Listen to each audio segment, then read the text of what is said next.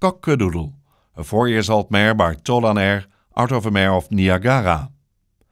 This daughter of Tolan R stands out with her attitude and her scope.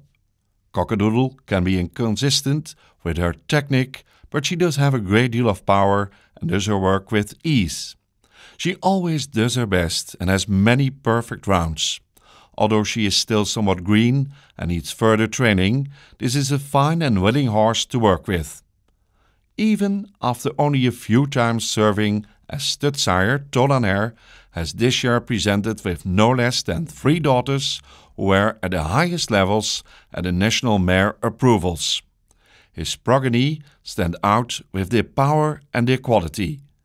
Grandsire Niagara, sired by Libero H, was sold as a show jumper to America.